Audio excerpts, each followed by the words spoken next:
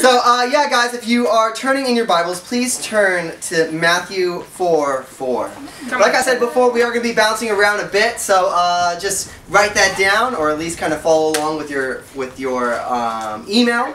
But uh, just to start it off and just talking about tonight, um, I kind of want to start off a little bit interactive.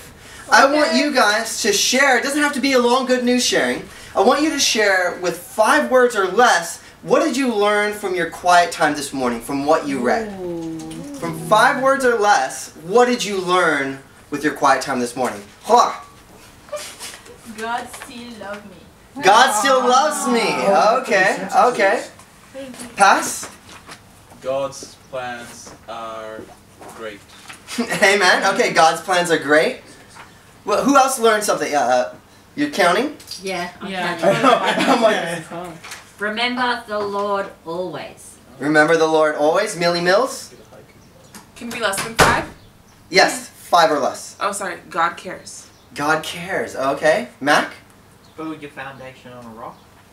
Mm. No. Build on a rock. There we go. On rock. I got you, bro. Uh, Rory? Be strong and take heart. Okay. JT? Sorry. Forgive yourself to be effective. Ooh. That's a good one. Uh, there's time for every emotion.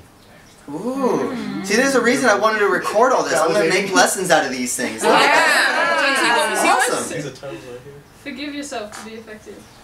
That's lit. Wow, that is awesome. See, we're, we're always learning, right? Each and every single day in Christianity, we're always learning. We're learning in our Bibles because we understand that Christianity is not a finished kind of religion. Come on. Meaning, you never get to the point. You never get to the end. You never actually hit kind of the conclusion. There's always somewhere where we're going. There's always something that we're building on. There's always something that we're growing towards. Come on, Sean. You know, um, there is no, like the, the Mormons, there is no two year mission. Mm. There is no graduation. There is no rite of passage and you're done. You're a man. It's over. Instead, there's this continual road of trial and error that we express, or that, that, that we express in our lives. Um, a Christian life is kind of like that of a shark's life. Meaning, if you ever heard, there are some kind of sharks that they must swim in order to survive. That if some species of sharks don't keep swimming, they die. Wow. They don't actually get the the uh, the water in their gills, and so they don't get receive oxygen. And so if they stop swimming, they die. Wow. And that's actually the same thing with Christianity. If we stop moving, if we stop growing, we cannot survive. That's right. Yeah. See, God, in our Christian life, He actually takes this responsibility or this requirement of us, you know, like a personal responsibility to God.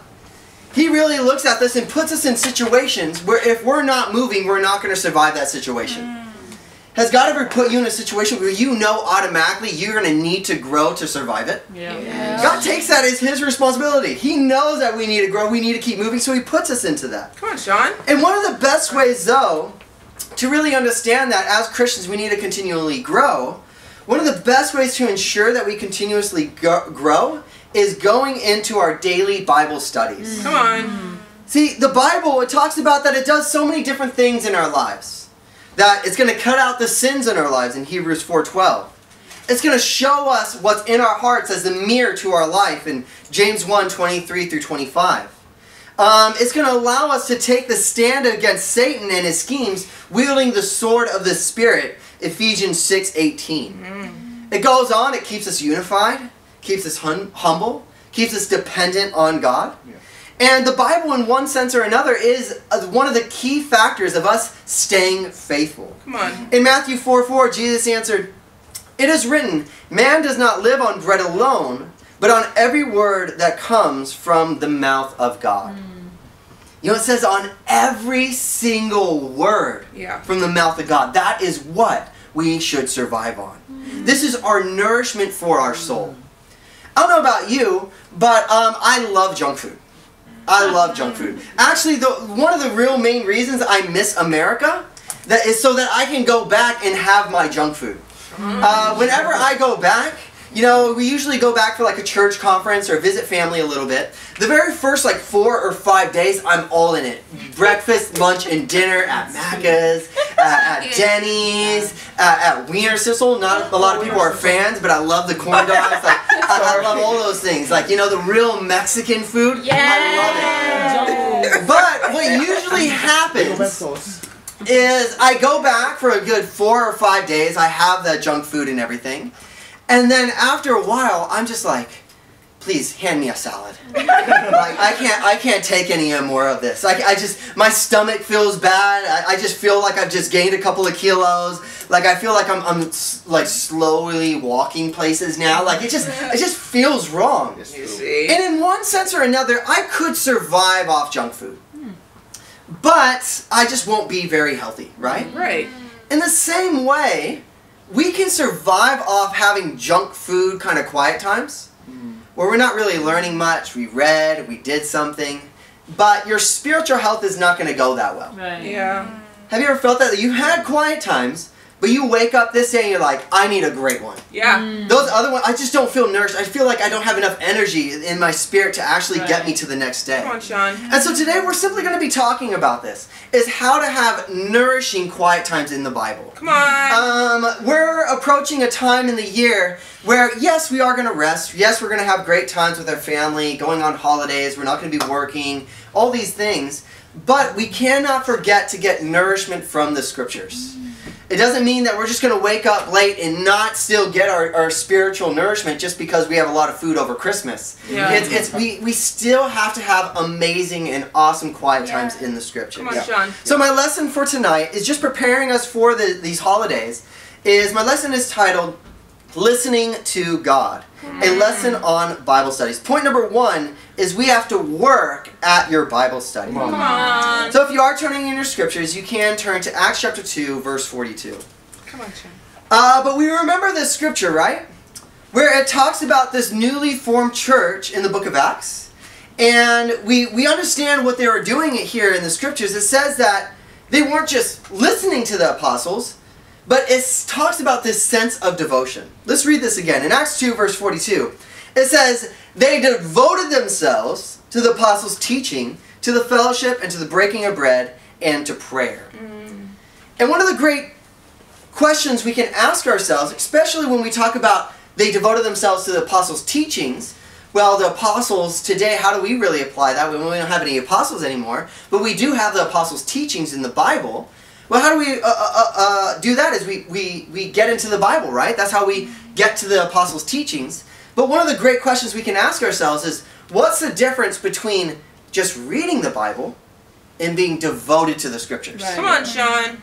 There's, there's a big difference hmm. between oh I just I just read the Bible or I'm devoted to the scriptures. It's hmm. kind of like the difference if you ever have a board game and you read the instructions. There's a difference between just reading the instructions and being devoted to what the rules say. I, to be honest, am not very much devoted to those rules sometimes when That's it comes right. to games. Uh, yeah. You know, if you ever live or if you ever come to my house and we play Uno, very, very different rules. I am not dedicated or devoted to those rules right there. Change every week. Uh, every week, yes. Um, and it depends on what helps me win more, to be honest. But you know, it's the same thing. It's you're reading the instructions from life. You can do that. That's awesome. That's the Bible. Mm, Are you devoted to those rules? come on. Very, very different. Yeah. You know, it actually later highlights that throughout the scripture in verse uh, 47 that they actually continued to grow. God allowed them, this church, to be added to daily. Well, we get here that in the beginning, verse 42 and 47 are, are extremely connected that the church grew because they were growing. Meaning, the church was growing numerically because they were growing in their character. Right. Oh. They were growing in their heart. They were growing in their devotion. That the more that they were growing, the more God was going to allow them to grow as a church. Come on, Sean. But we all understand when we talk about the word growth, that it's not always easy. Right. Mm-hmm. To be called to grow or to do something stronger or better is not always easy, even when God's on your side. But we have to remember God's on your side more like a coach than like a referee who's trying to throw the game for you. Right. Mm-hmm. There's a big difference. God's on your side, yes, but He's a coach who's trying to encourage you to do more and grow. Of course. He's not just going to get and make the game easy for you. Right. He's not going to be like, "Oh, I'll change the rules for you. Sorry, okay, you can you can still go." Hmm. Right? It's not that way. It's God's the coach trying to get you better at the game. Come on, John. See, he is behind behind you, but we still have a lot of work to do. And in the same way, it's no different with our Bible study and our devotion to our scriptures. Hmm. That God's going to give us these scriptures and instructions, but we still have a lot of work to do to apply them in our life. Yeah. We have to remember and think about this scripture. Peter, uh, 2 Peter chapter 3, verse 15 through 16. It says, bear in, mind, bear in mind that our Lord's patience means salvation. Just as our dear brother Paul also wrote you with the wisdom that God gave him. He writes the same way in all his letters, speaking in them of these matters. His letters contain some things that are hard to understand, which ignorant and unstable people distort, as they do other scriptures to their own destruction. Mm. We read this scripture and start to understand hey, read, just accepting the scriptures is one thing, but to actually use them in a productive way is going to take some work. Come on. See, it, it, it almost warns us here in these scriptures that it is possible to distort the scriptures to your own destruction. Mm. Yeah. Mm-hmm. And even listen to those that do the same thing. Hmm. It actually talks about there are, there are two types of people, at least in these scriptures, that are mentioned that do so, that, that use the scriptures to their own destruction. It says the first one is ignorant people. I think about like that root word, and this is something I actually I only learned about a couple weeks ago from taking uh, assistance. Is ignorant means like that root word to ignore, right? You think about there are some people. These are the type of people that will ignore other scriptures, meaning they'll read one and they'll just take that. I'll have faith alone, only do that, and their life gets destroyed because they're only taking one scripture in their life and ignoring others. Come on, Sean. Where the Bible says, "Hey, faith alone without deeds, that's dead faith." Right. Yeah. Right. They're ignoring that scripture to their own destruction. Yeah. Wow. See, it, it, Christianity is a game that survives only when you use all the rules. Come on. Mm. The the game doesn't make sense once you start taking out rules and taking out scriptures. You can't ignore them. The second type of person, it says an unstable person. These people are those that jump from one scripture to another based off of their feelings. Mm. They're unstable. One day they believe in this, another day they believed in that because a, one preacher said something that they touched their hearts or whatever, and now they changed their, their doctrine mm, Yeah. just because someone said something that was really cool or up on YouTube. It's like th- these unstable people lead to their own destruction. Mm. See, it talks about actually the scriptures are not all not all scriptures are hard to understand, right? It says there are some things that are hard to understand, mm. but the easiest way to understand them or the easiest way to actually get past a difficulty is one is by taking the scriptures as a whole. Don't just be ignorant and ignoring other scriptures and letting that be your foundation rather than your feelings or whatever that pastor must have told you. Even myself, Yeah. letting the scriptures be the foundation. Sean. So we read here that we're already starting to understand this. Reading the Bible is going to take some work, right? You don't just read and automatically understand everything. You got to okay, you got to put all the scriptures together. Yeah. You got to not just be based off your feelings and what you feel inspired by. You got to see what the scriptures say. It takes a tremendous responsibility on us to actually personally stick to the truth. Yeah. See, there are some passages that are going to be difficult to understand, but it's not going to be impossible. Um, that it is possible to understand these scriptures, so that there's no excuse that we can't just mm, uh, not do them. It actually says here in uh, 2 Corinthians uh, chapter 1, verse 13, it says, For we did not write to you anything you cannot read or understand Yeah. Yeah. That we all have the ability to understand the scriptures. Mm-hmm. It is not limited to the intellectuals or the scholars of our day.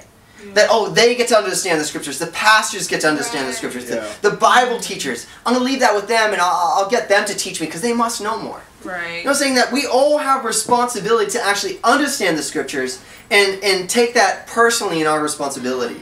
Yeah. Don't just get lazy and be lazy and be like, well, I don't understand these scriptures. Oh, what do you think? No, do some study for yourself. Come on, Sean. Actually, get some deep convictions in the Bible. Come on. You study out the scriptures. You you find it out. You put that in your personal Yeah. work for God. Yeah. See, the next part is yes, we have to get to it. Understanding the scriptures is one thing, but we all know that the truth does not fulfill its purpose until it's used. Right. Hmm. Just because you know something's true doesn't mean it actually has done anything for the world until you've used that truth. Mm-hmm. Come on. So even in the Bible, right?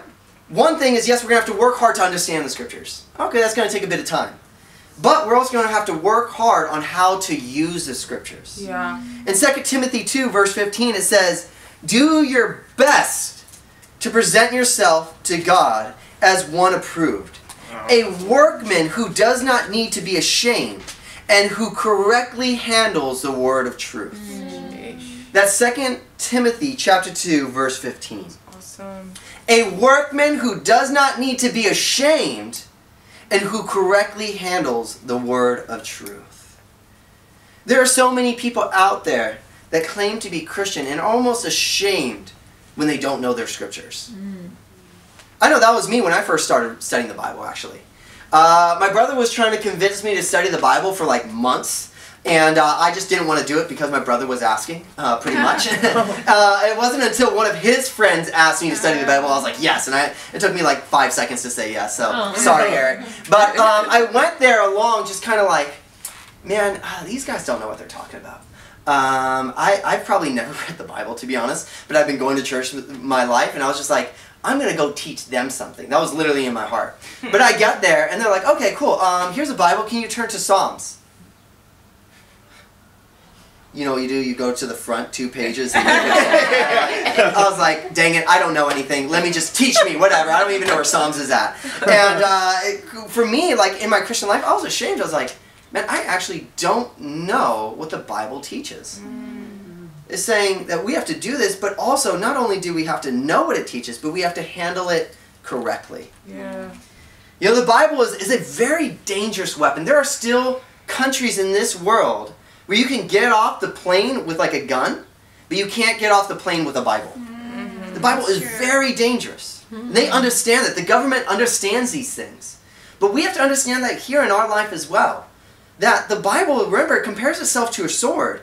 You can't just be going willy nilly, just swinging that thing around. You got to mm-hmm. know how to use Yeah, the that's sword. right. Yeah. Yeah. You must be wise in how you use the sword. And there's wise in two different areas. You have to be wise on how you use it to others and how you use it on yourself. Yeah. Mm-hmm. Struggling to forgive somebody. Do you have a memory scripture for that? Do you have a memory scripture when someone's struggling with impurity in their life? Do you have a memory scripture when someone doesn't wake up want to wake up early and they want to be lazy? Oh. Do you actually use the Bible or just use the things that you know that are in the Bible? You're paraphrasing. Wow. Actually memorize scriptures. In the same way, do you have go-to scriptures for your own heart? When you don't feel like sh- uh, sharing your faith, when you feel when you feel like don't uh, not giving to the fellowship, when you feel like not showing up to church, we all have that. Do you have go-to scriptures to actually use it on yourself? Come on, Sean. See, developing a, a competence in studying the Bible with others as well as yourself is part of using the Bible. Mm-hmm. Yeah. We have to become well equipped workmen. In 2 Timothy 3, this is the next chapter, verse 17, it says, So that the man of God may be thoroughly equipped for good work. Right? We mm-hmm. use the Bible so we can be equipped for every good work. In 1 Peter 3 15, it says, But in your heart set apart Christ as Lord, always prepared to give an answer to everyone who asks you to give the reason for the mm-hmm. hope that you have. Yeah. Mm-hmm. But do this with gentleness and respect.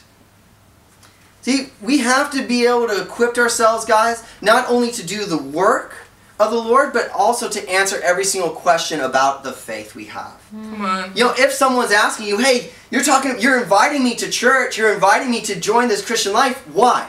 Mm. Do you have a scripture to show them? Come on. Do you actually turn to the scriptures rather than your own experience? See, there are sometimes people try to wrongly evangelize. People are like, well, why are you a Christian? Sometimes well, people will say, it works for me. Buddhism works for people. Uh, Islam works for people. Yeah. That doesn't make it true. Right. Your own testimony can have power in some people's lives, but that's not what makes it true. Come on, Right. Sean. You gotta go back to the truth to convince people. Yeah. Right? Your own testimony, yes, that's good, that's awesome. but you have to go back to the scriptures because the Buddhists can say that. Well, Buddhism works for my family.